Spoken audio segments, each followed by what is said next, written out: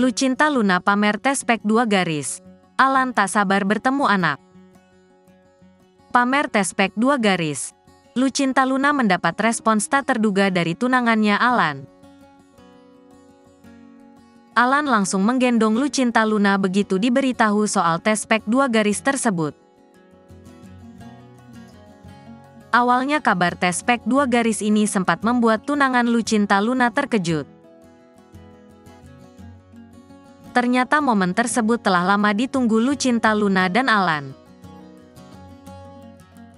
Alan mengaku tak sabar ingin bertemu anaknya setelah Lucinta Luna pamer tes pack dua garis. Belum lama dalam salah satu postingannya, Lucinta Luna mengaku hamil anak Alan. Dia bahkan memperlihatkan bukti hasil tesnya.